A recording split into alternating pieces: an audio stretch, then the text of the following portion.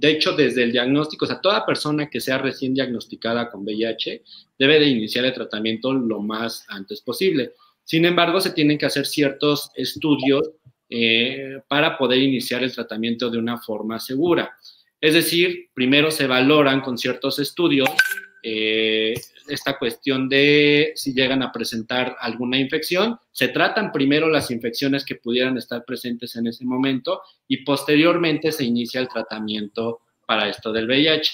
¿Por qué se hace de esta forma? Justamente porque si nosotros tenemos una gran cantidad de, eh, virus y unas muy bajas defensas, lo que pudiese llegar a pasar es que van a estar estas infecciones y al momento de iniciar el tratamiento baja la carga viral, que es la finalidad, y eso está muy bien, pero también suben las defensas. Entonces, estas defensas que van a empezar a subir y que se van a empezar a crear, van a detectar estas infecciones.